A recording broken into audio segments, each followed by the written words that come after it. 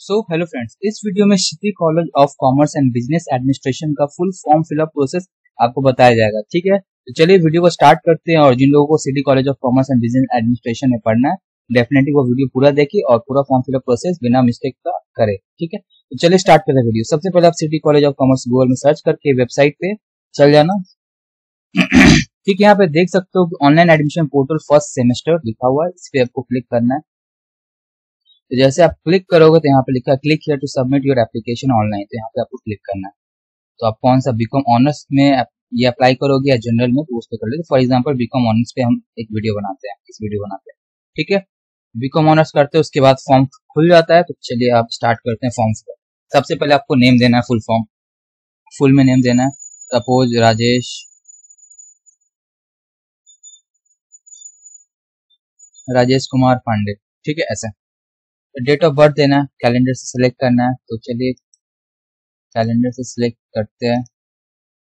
दो हज़ार एक कर दिए।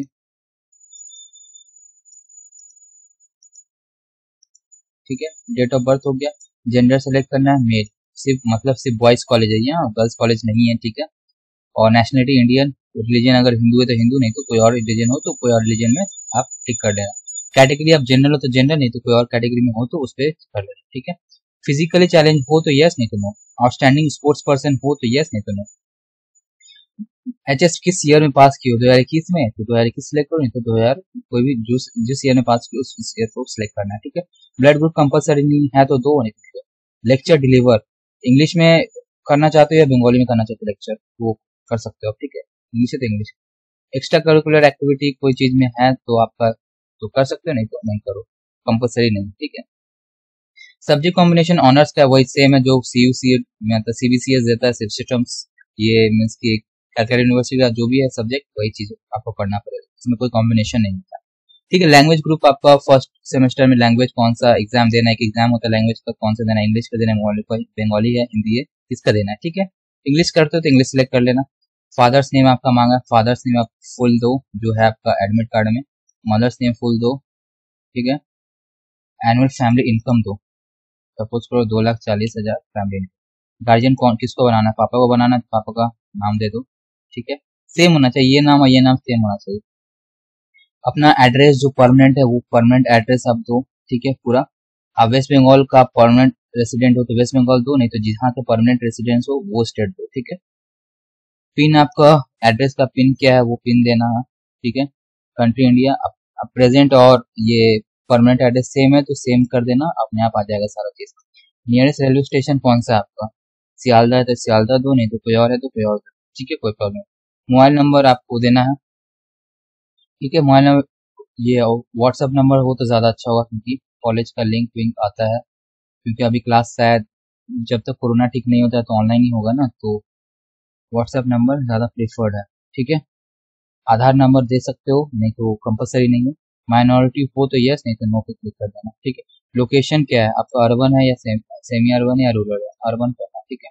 बीपीएल या एपीएल हो? बिलो पॉवर्टी लाइन है और वो पॉवर्टी लाइन है। जिसके पास बीपीएल का कार्ड है तो करना नहीं तो एपीएल ही करना। पहले के यूनिवर्सिटी में रजिस्टर्ड हो यस या नो नो नो करना है ठीक है? क्योंकि मीन्स की जो लोग मीन्स की जो लोग रजिस्टर्ड मीन्स जो लोग एक साल या एक सेमेस्टर पढ़ के फिर कॉलेज छोड़ देते हैं फिर एक दो साल बाद फिर कॉलेज ज्वाइन करना चाहते हैं तब तक उनका नाम कट गया तो लोग को फिर से फॉर्म भरना पड़ता है। तब इस केस में क्या हुआ यहाँ पे आपको यस करना पड़ेगा। फिर आपको उस वक्त फ़र्स्ट सेम एक तुरंत ही आपका रजिस्ट्रेशन सर्टिफिकेट बन जाता है। वहाँ पे आपको ये वाला नंबर यस करना होगा। ठीक है? फिर ये सब यूनिवर्सिटी नेम नंबर रजिस्ट्रेशन देना है। ठीक है? नहीं तो मदर टंग क्या है? देना है तो दो। हिंदी इंग्लिश जो भी है बंगाली है तो दो। वरना कोई कंपलसरी नहीं है, इसलिए नहीं भी दे सकते। आप नॉन ये ये क्या बोलते हैं नॉन फॉर्मल एजुकेशन सिस्टम से पास हुआ है या नहीं? नहीं है तो नो ठीक है। Result of qualifying exam ten plus two ten plus two का नेम ऑफ़ द एग्जामिनेशन क्या है? हायर सेकेंडरी एग्जामिनेशन लिखते हैं। हायर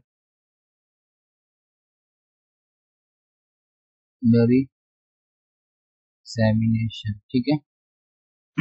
रोल नंबर लिखना विदाउट एनी सेपरेशन मतलब कोई भी गैप मत देना रोल नंबर पूरा एक साथ।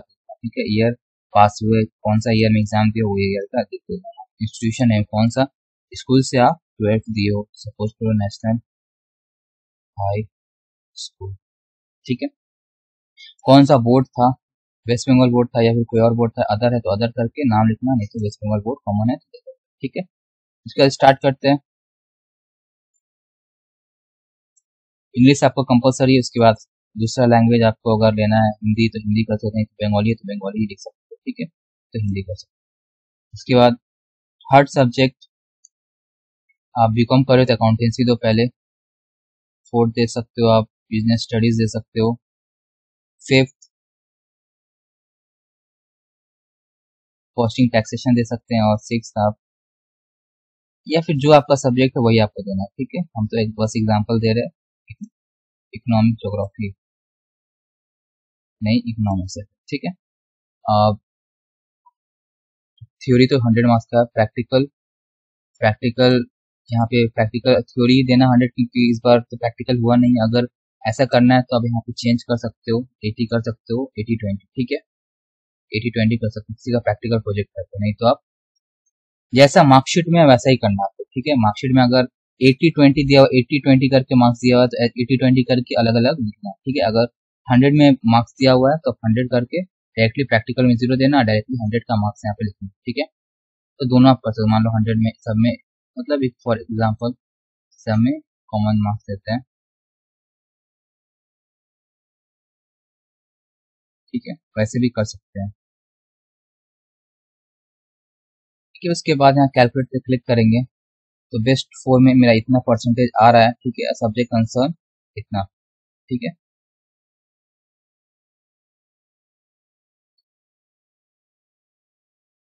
तो ये हो गया, उसके बाद यहाँ पे क्लिक करके यहाँ सबमिट कर देना। ठीक है?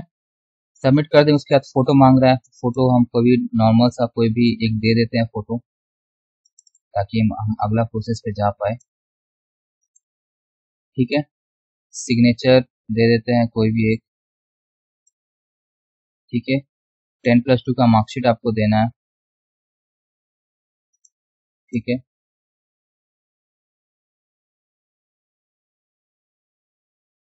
और यहाँ पे एज प्रूफ देना है बर्थ सर्टिफिकेट या फिर टेन का एडमिट कार्ड दे सकते हो, ठीक है? इसके बाद अपलोड डॉक्यूमेंट पे क्लिक कर देना, ठीक है? तो एकेडमिक डिटेल्स सक्सेसफुली सेव का मैसेज आएगा तो ये आपका एप्लीकेशन नंबर है, ठीक है? इसको फर्दर रिमेम्बर रखना, ठीक है? इसको कंट्रोल सी करके इसको रिमेम्बर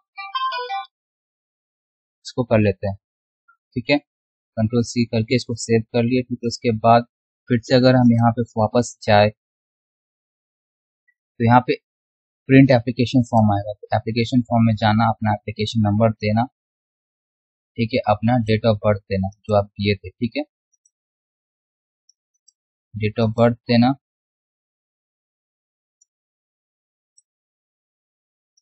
ठीक है? उसके बाद वैलिडेट एंड प्रिंट में जाना तो आपका एप्लीकेशन फॉर्म रेडी है, ठीक है? यहाँ से आप प्रिंट कर सकते हो, ठीक है? तो वीडियो अच्छा लगे तो लाइक शेयर सब्सक्राइब डेफिनेटली करना। So thank you so much अब कोई और इन्फॉर्मेशन चाहिए तो कमेंट में बताना। डेफिनेटली मैं रिप्लाई करूँगा। थोड़ा सा लेट होगा आज तो एक दो दिन में बट रिप्लाई करूँगा। ठीक है?